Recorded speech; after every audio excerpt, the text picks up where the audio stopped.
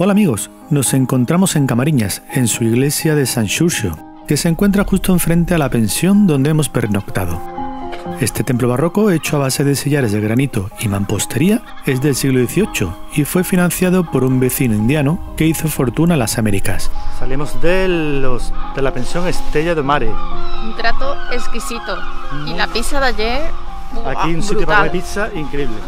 el objetivo ahora de la mañana. Llegar a la Prada del Lago intentar comer allí. Está a unos 20 kilómetros. hoy tenemos que hacer 32. que serán 40. Así que nada. ¿Qué? ¿Te vienes con nosotros? Descendemos por las calles de la localidad hasta alcanzar la ría de Camariñas, que nos recibe con una apacible mañana a la que parece costarle despertar.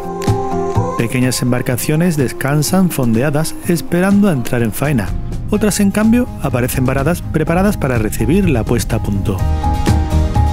Una operación que ya ejecutan las gaviotas con su mecanismo alado, pues al igual que nosotros tienen que ponerse en marcha. Por este paseo marítimo flanqueamos las instalaciones de una empresa conservera, hoy convertida en tienda museo, como reclamo al turismo industrial en el que conocer el pasado, presente y futuro de este sector. Mientras lo hacemos, nos vamos acercando a la playa de Area Vila, en la que un grupo de gaviotas celebran con vítores nuestra llegada. Más bien todo lo contrario, pero bueno. Tenemos que recorrer este arenal de unos 200 metros de longitud para localizar un sendero que salvará la convexidad de la punta dos Castros.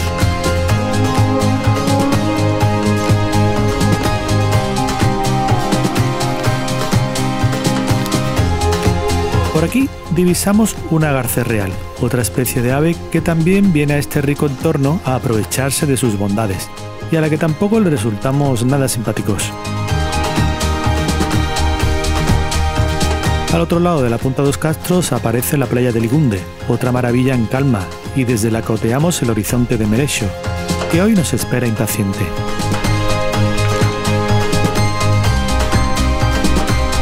Bordeamos esta playa por la pista para adentrarnos en los kilómetros que recorrerán la ensenada de Abasa. Prácticamente tendremos que transitarla en su totalidad por las dos orillas, salvo un pequeño tramo urbano que evita propiedades privadas. La orilla occidental que ahora recorremos es totalmente llana, de avance cómodo entre muretes de piedra, pinares, helechos y algún eucalipto disperso y siempre con vistas a esta masa de agua rica en actividades marisqueras.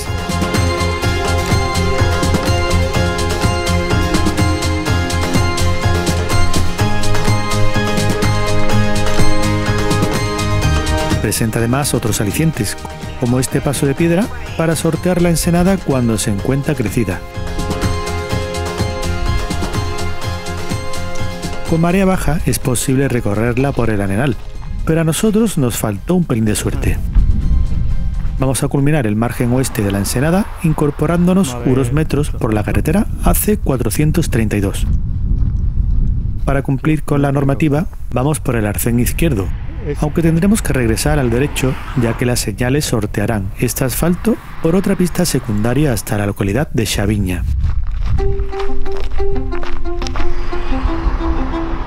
Aquí, lo rural y marino viven en comunión, estampas que son reflejo de la sostenibilidad económica de la comarca. Ascendemos por Xaviña al tiempo que nos orientamos hacia el margen derecho de la Ensenada de Basa para comenzar a recorrerla por las faldas del monte Dainsua. Salimos de la urbe por una pista asfaltada descendente que pronto descansará en la orilla del entrante costero.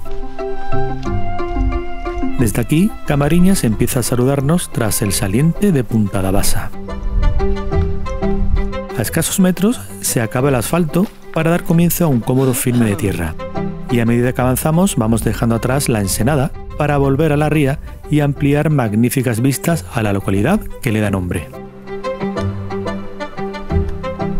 Damos un vistazo a los arenales que recorrimos anteriormente para centrarnos en los que nos llegan ahora, como el de Ariña Blanca. A ver si de aquí arriba se algo. No descenderemos más para ver esta playa de 140 metros de longitud, pero desde esta perspectiva se intuye su blanca arena y su relajante orilla, ideal para que los mariscadores preparen sus enseres antes de iniciar la jornada. El camino se adentra varios metros entre pinos y eucaliptos para salvar los salientes de Punta de Barna y Punta de Sandría y desembocar así en la siguiente playa, Rego dos Coiros. Tiene unos 100 metros de longitud y se emplaza en la desembocadura del río Grande, caudal que tendremos que remontar en sentido contrario para surcar algunos tramos de su dibujo. En principio, seguimos haciéndolo pegados a la orilla, dirigiéndonos ahora a la extensa playa de Ariño. Un bonito espacio acondicionado con fuentes, duchas, aseos, bancos y mesas para poder pasar así largas jornadas de playa. Una balaustrada de madera separa el perímetro del merendero de la orilla, aunque evidentemente hay accesos a la arena que no nos permitimos desaprovechar.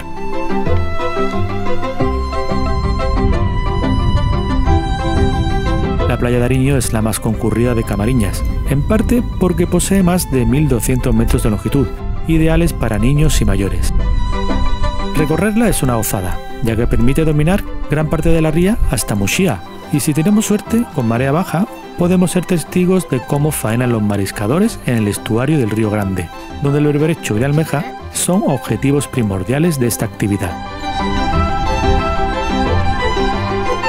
Una vez completado este arenal, las señales nos internan en un tramo emboscado para salvar el afluente del Rego de la Mastredo. A continuación, conecta con pistas vecinales que nos conducen a la carretera AC432, que tendremos que cruzar con precaución para seguir de frente y llegar al restaurante o ariño. Aquí las señales zigzaguean para introducirnos a la aldea de Tasaraño, que asciende por las faldas del monte da Costa. Cerca hay una fuente de traza barroca que ya abastecía a los vecinos de la población mucho antes de las canalizaciones de agua corriente. Un hito de arquitectura etnográfica cargado de historia, al igual que los hórreos, símbolos de evolución y desarrollo de estos núcleos rurales. Debemos progresar dirección este y mientras lo hacemos, la ganancia de altura permite vistas a la playa de Ariño y a la desembocadura de Río Grande. Para evitar la carretera AC432, las señales nos llevan por una senda paralela hasta una pista vecinal de asfalto que nos introducirá en el lugar de Dor. Una coqueta aldea que mira al valle y cuyo sosiego solo se ve interrumpido en cuanto estos individuos pasan revista a todo aquel que se atreve a atravesarla. Pero bueno, después de todo hacen su trabajo. No me, quieren los perros que es seguir salvaguardando este hermoso lugar.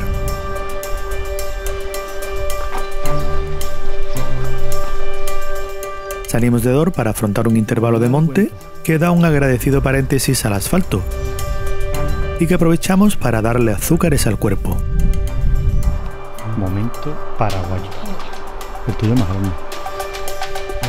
Pinos, eucaliptos, robles y los familiares helechos nos envuelven en este corto pero frondoso recorrido hasta la siguiente población, Oayo. Como sucede en otras aldeas anteriormente franqueadas, se advierten buenos caserones de piedra levantadas a base de mampostería, auténticos reflejos de la arquitectura tradicional.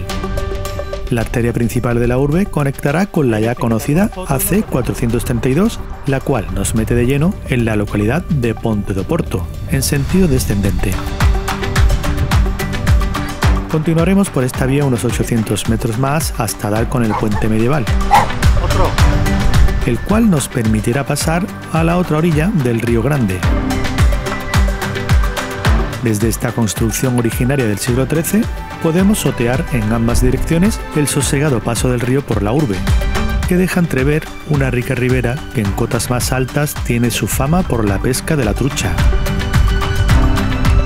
Ya en la otra orilla se emplaza la controvertida iglesia de San Pedro, construida en el siglo XX. Su levantamiento significó la destrucción de un templo románico y otro barroco, lo que muchos tildaron de atentado cultural. Frente a ella encontramos un cruceiro del siglo XIX que destaca por un lado por la figura de San Francisco rogando al Cristo crucificado y por otro lado por la calavera y huesos de su base. También frente al templo hay una placita con una bonita reproducción de la Fuente de los Leones, que inevitablemente nos transporta al maravilloso conjunto monumental granadino de la Alhambra. A partir de aquí iniciamos el recorrido por la orilla sur del río hacia el oeste para regresar a su desembocadura, pero entre medio quedan enclaves de interés. De momento, volvemos la vista para ver los cimientos del puente medieval que hemos atravesado y cuya estructura sufrió reformas en el siglo XX para facilitar la circulación de peatones y vehículos. El puerto de Ponte do Porto fue antaño un lugar estratégico y comercial cuyos orígenes se le pueden atribuir a una antigua vía romana llamada Perloca Marítima. También se utilizó como refugio de las embarcaciones ante los temporales.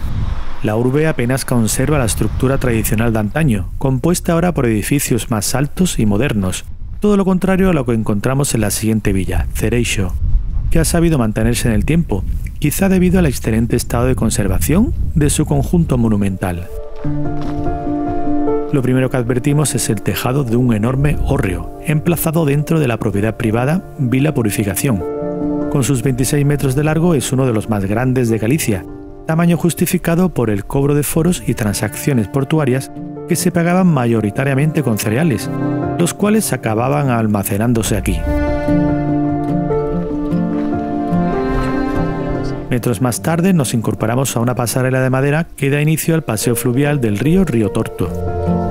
Desde el mismo se aprecia de un lado el Muño de Mareas, levantado en 1679 por la familia nobiliaria de los Moscoso y Altamira, estos dominaron estas tierras hasta los inicios del siglo XIX. Hoy día el molino hace las veces de vivienda. De otro lado, asoma una de las torres almenadas de Cereixo, conjunto arquitectónico al que nos dirige el paseo fluvial.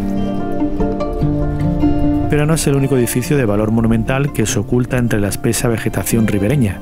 Mientras avanzamos, se descubre la fachada oriental de un templo emplazado junto a las torres.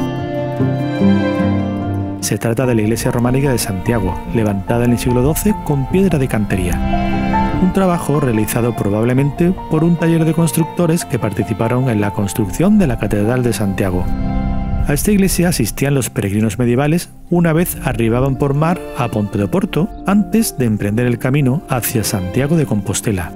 Y seguramente quedaban maravillados por la talla del tímpano de la portada sur, la cual representa una escena única en la península sobre el traslado en barca del cuerpo del apóstol Santiago. Sobre la escultura, las claves de la arquivolta y el arco, la primera con una figura eclesiástica bendiciendo, la segunda con un ángel portando un incenciario. La portada de la fachada occidental es más sencilla en decoración, donde resaltan capiteles y cimacios con motivos vegetales. Destacables son también los canecillos de las cornisas, decorados con diferentes motivos, como volutas, animales o representaciones de los vicios de la carne, estos últimos anunciando a los fieles evitar estos pecados antes de entrar en un lugar sagrado. Muy próxima a la iglesia se levantaron en el siglo XVI, sobre un pazo señorial, las torres de Cereixo, las cuales sirvieron para la vigilancia y defensa de las incursiones vikingas y árabes.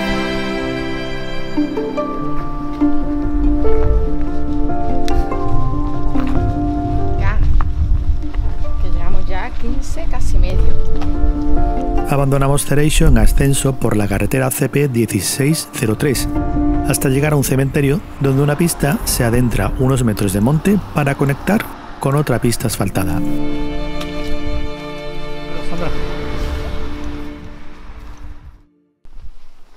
Al poco nos despistamos desviándonos por otra senda, pero el track no falla y rápidamente nos devuelve al asfalto durante otros 300 metros.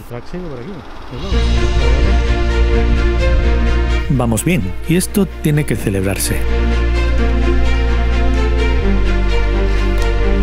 Sin embargo, aunque nos las prometemos muy felices, nos adentramos ahora en el tramo más engorroso. Un intervalo de monte emboscado que se vuelve algo incómodo, por un lado, por los restos de desbroce y limpieza que encontramos en el firme de ciertas franjas del trazado.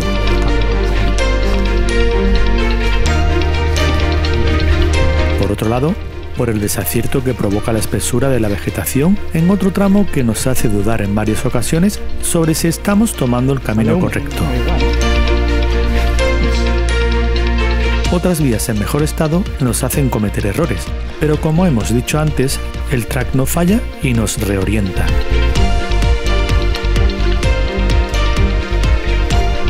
No fuimos los únicos que sufrimos este pequeño caos, y parece que junto a esta otra pareja que realizaba el camino, supimos tomar la dirección correcta por la Furna do Sapo, que es así como se conoce a todo este tramo tan auténtico, que desciende para transportarnos de nuevo a las riberas del Río Grande. La desembocadura del afluente Rego de Beilariño es un soplo de aire fresco ante tanta espesura.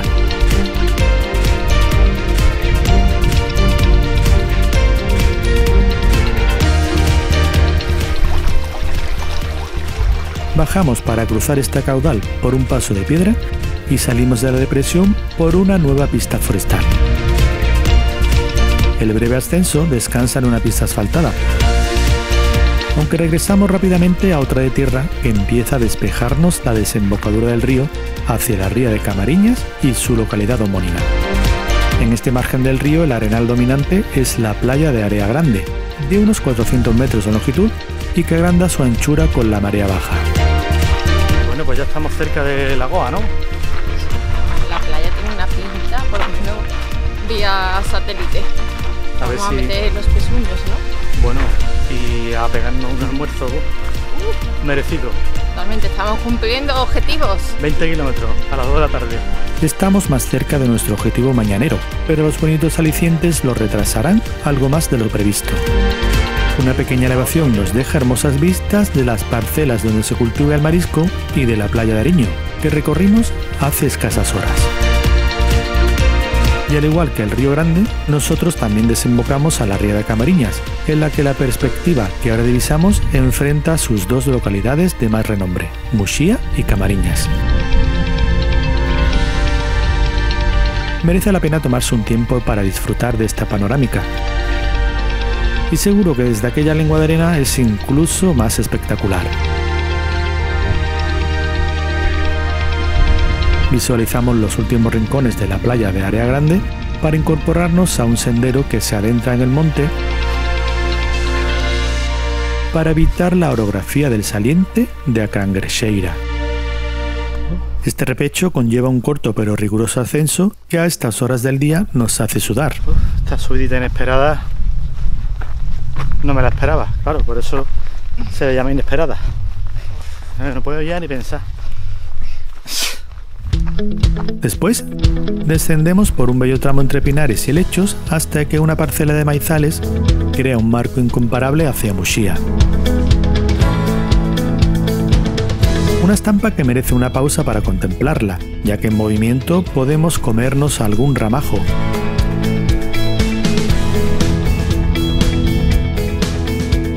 Estos maizales también mirarán a Camariñas, en cuanto tomemos la pista local que nos acerca a la siguiente playa, la de Leis.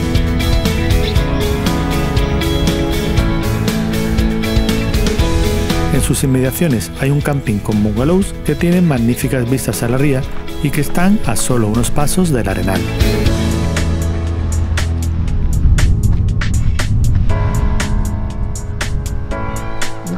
Encajonada entre pinares, la playa de Leis es un entorno virgen de unos 300 metros de longitud que goza de aguas limpias y tranquilas, que nos quedamos con las ganas de probar, todo se ha dicho, ya que la pausa que nos interesaba en estos momentos era la de la playa del lago.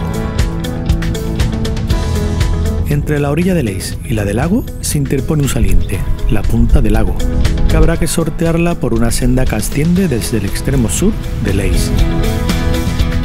Por aquí alimentamos nuestras retinas con las últimas instantáneas de esta playa y avanzamos hacia Punta del Lago, que como bien se observa está presidida por un pequeño faro a modo de baliza.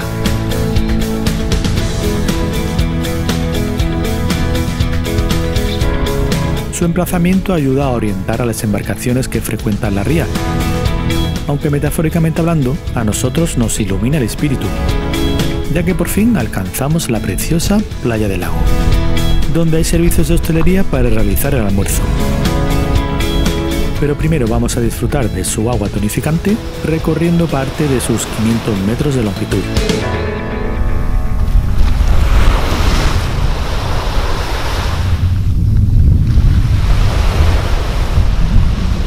¿Nos darán de comer aquí? Pues sí, y muy bien que comimos. Bueno, pues reanudamos la marcha. 9 kilómetros nos quedan para llegar a Muxía. Recompuestas las energías, reanudamos la marcha flanqueando la playa tomando la carretera. Por aquí salvamos el río Dolago, que desemboca en su arenal homónimo, y que debido a la barrera arenosa, el agua se embalsa formando una laguna, una piscina natural de la que sacan provecho fauna y bañistas. Acompañaremos al río hacia su desembocadura, transitando la carretera durante otros 300 metros, al tiempo que vamos recibiendo estampas de la playa desde nuevos puntos de vista.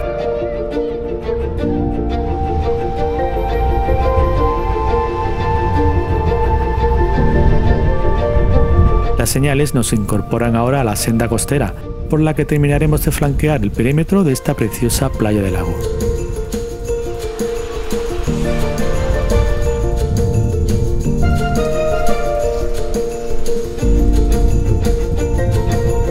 Partir de aquí el trazado nos irá alejando de la costa para adentrarnos en un bonito intervalo rural dominado por la campiña de Merexo.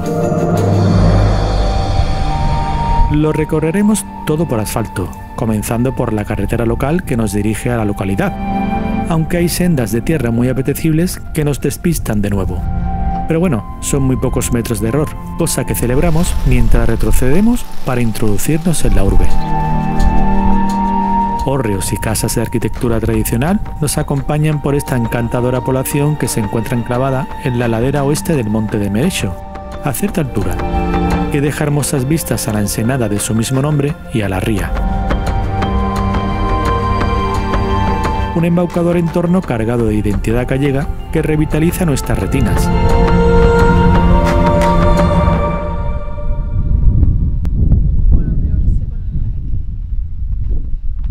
Los vecinos del lugar poseen balcones privilegiados para gozar de estas vistas.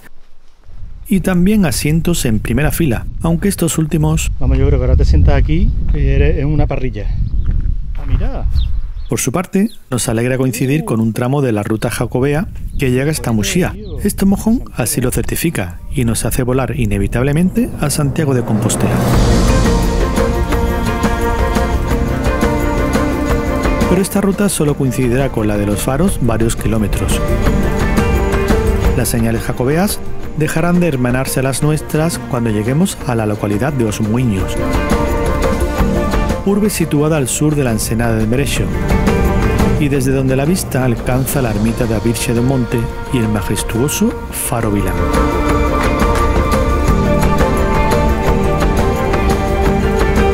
En esta población tendremos que desviarnos para recorrer la encantadora senda fluvial do Río Negro. Un recorrido al que nos dirige esta calle con buenos ejemplos de arquitectura popular. Paseo fluvial. Ponte de Atella. ¿eh? Nos queda claro, es por aquí.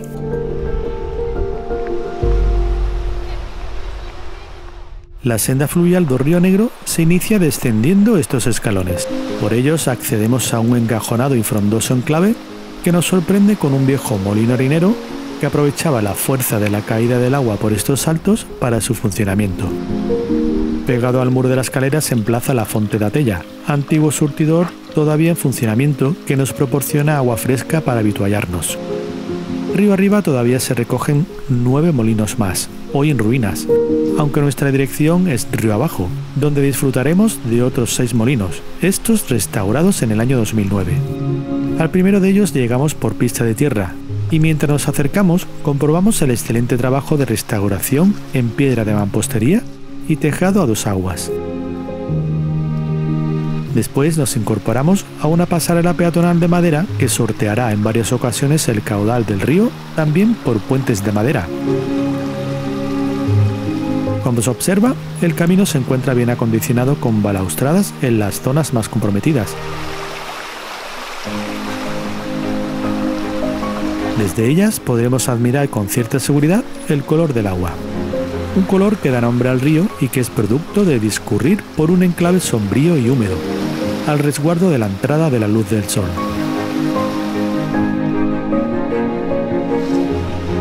Algunos de los molinos permanecen abiertos para que podamos ver su interior, donde se albergan las piezas de muelas que antaño utilizaban para obtener la harina.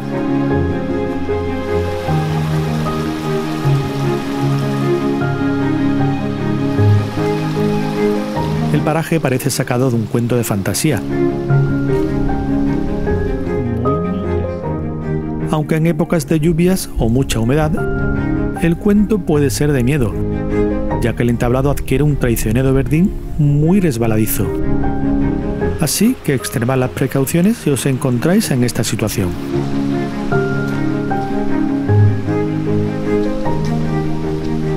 La pasarela de madera finaliza en un último cruce del río, que se hace por unas plataformas de piedra.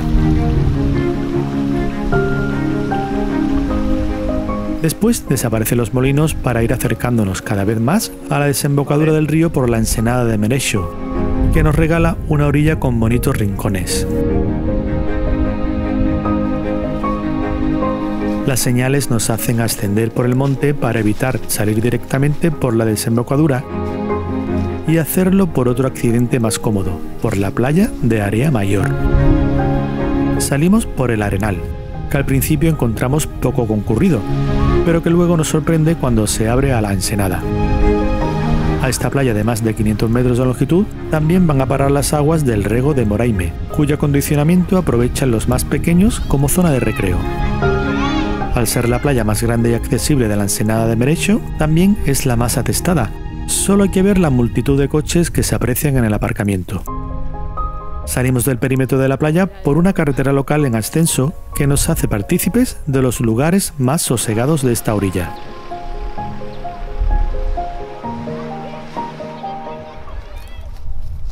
Y pocos metros más tarde, Esta subida de las que a ti te gusta, Sandra.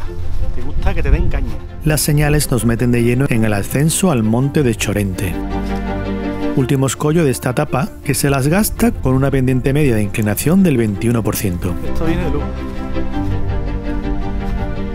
Es un corto repecho en el que se gana altura rápidamente, a unos 90 metros sobre el nivel del mar que alcanzamos en la localidad de Chorente.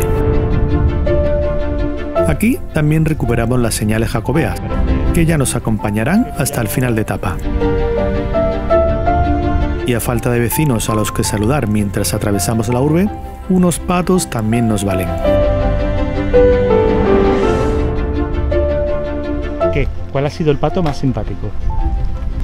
La verdad que ninguno ha hecho nada. ¿No? ¿Ninguno te ha hecho cuac cuac? Bueno, al menos estaban tranquilos y se dejaban fotografiar, al igual que este otro mojón, que nos informa que solo nos restan dos kilómetros y medio hasta Muxía, una localidad que ya comenzamos a ver mientras descendemos por la ladera norte del monte.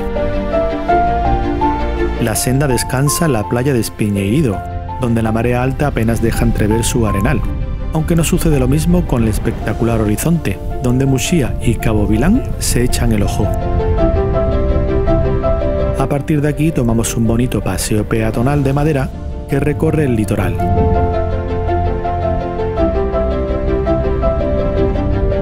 El siguiente arenal, separado por el saliente Perada Garza, es el de Cruz. Esta playa mezcla las aguas de la ría de Camariñas junto a las del Rego de Figueras, que desemboca aquí.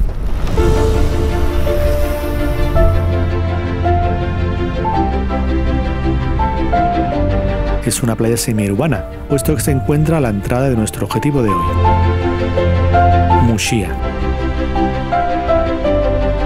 Cambiamos la pasarela de madera por el acerado de la carretera AC440 que nos introduce en la urbe.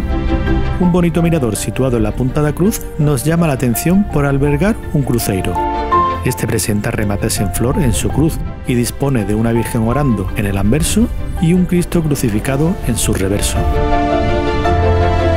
Desde el mirador también pueden apreciarse el puerto deportivo, la lonja y el puerto pesquero de esta villa, cuya personalidad marinera quedó fuertemente arraigada desde tiempos antiguos.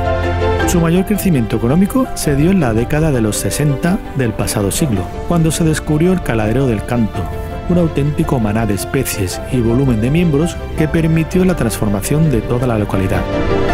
La alegría por llegar a esta villa que rezuma vitalidad se acrecenta al ver llegar a Chemi y Marisa, que hoy eligieron la bicicleta para realizar la tapa.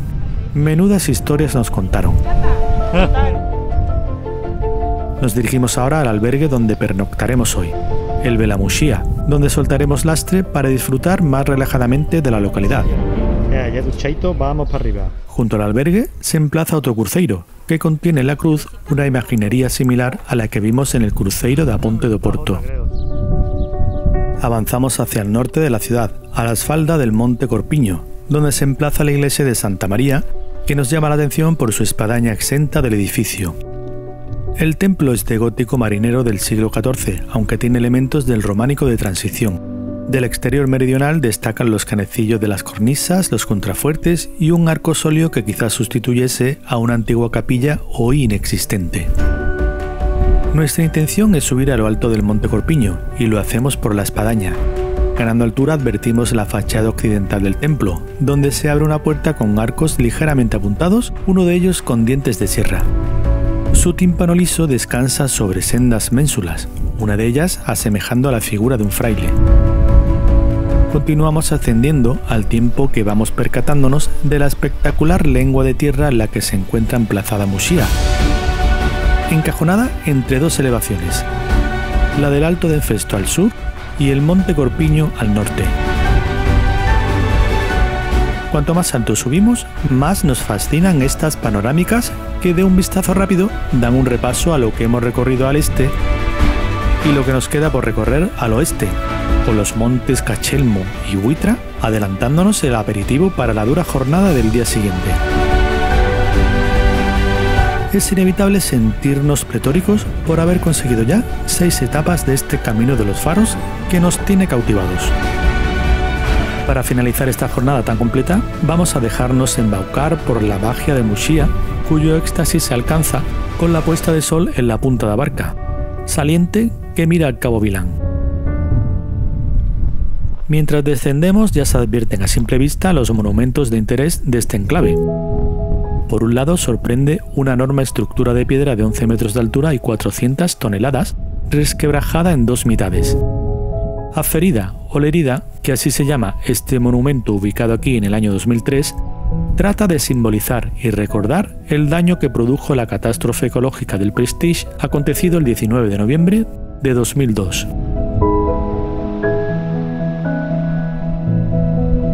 Por otro lado, el santuario de Virgen de construido con la misión de afianzar la cristianización de estas tierras en la Edad Media, tras el místico suceso que aquí aconteció.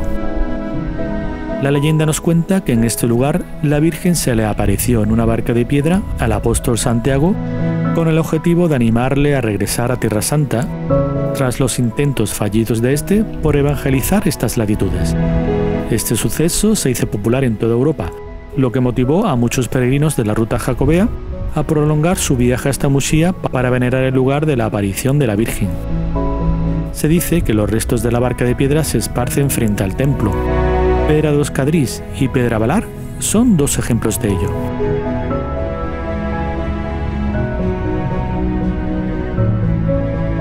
El templo actual fue levantado en 1719 sobre los cimientos de otro del siglo XII, aunque la terminación de las torres se realizó en el siglo XX. El edificio fue reconstruido tras un incendio sufrido en el año 2013. Junto al muro norte se halla la casa rectoral con su campanario y espadaña, que se levantaron en la primera mitad del siglo XIX. Solo nos resta asistir al ocaso del día, antaño utilizado para dar sentido a ciertos cultos paganos y que hoy damos valor como auténtico regalo de la naturaleza. Porque estas estampas no están solo para requerarnos la vista, sino más bien para recordarnos que estamos aquí gracias a que el sol despierta y duerme cada día. Y esta realidad la prolongaremos más en el tiempo cuanto más cuidemos el lugar en el que vivimos.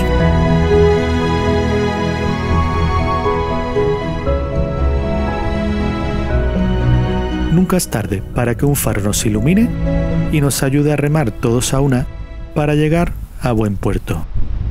Hasta la próxima.